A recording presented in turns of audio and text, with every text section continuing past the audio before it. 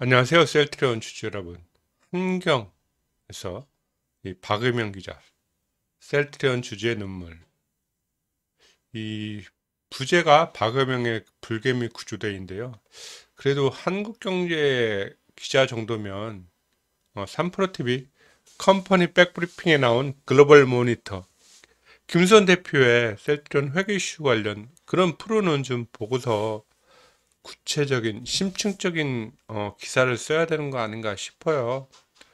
지금 여러분들 우리가 뭐 여기 박유명 기자의 얘는 지금 1억 5천만의 손실 인증합니다. 이렇게 앞에 타이틀을 했는데 사실 셀트리온 투자자들이 지금 뭐 1억 5천만 원뿐 아니고 수억 이거보다 훨씬 더 많은 손실을 보신 분들이 꽤 많잖아요.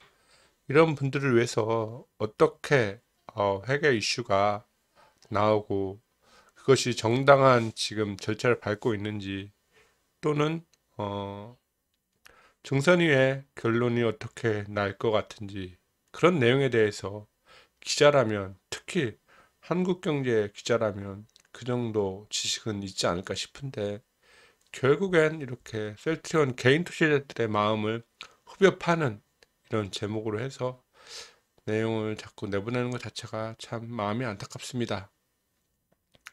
어제 나스닥이 지금 많이 하락을 해서 다음 주 월요일에도 뭐 다음 주에도 증시가 좀 많이 안 좋을 것 같은데 여기에 더해서 이런 기사까지 계속 나오고 하니까 어, 셀트리온 주주로서 조금 쉽지 않은 시간이긴 합니다.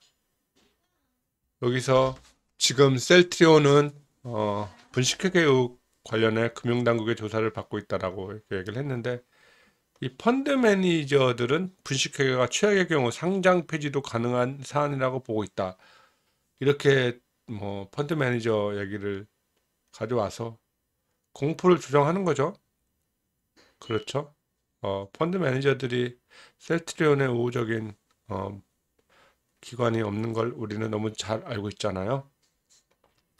그래서 증권업 증권업계 관계자는 셀트리온 한 종목 때문에 판매 중단을 하느니 아예 팔아버리자는 분위기가 매니저 사이에서 확산되고 있다고 말했다.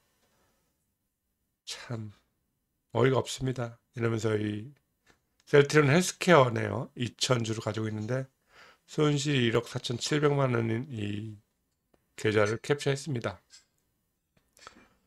그런데 뭐 여기 지금 내용에도 썼지만 영업이익은 증가하고 영업 이익이 어 전년 대비 18% 증가하는데 이게 왜 기대치를 충족시키기에 부족하다고 나오는지 참 이해를 못하겠습니다.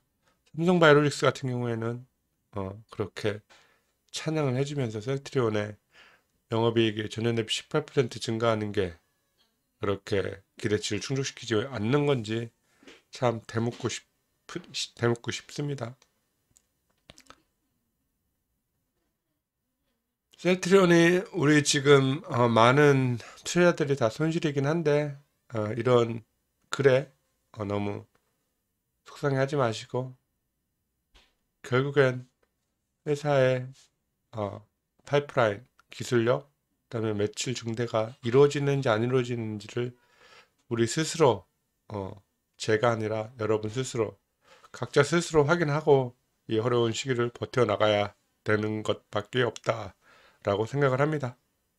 여러분 즐거운 토요일 보내세요. 감사합니다.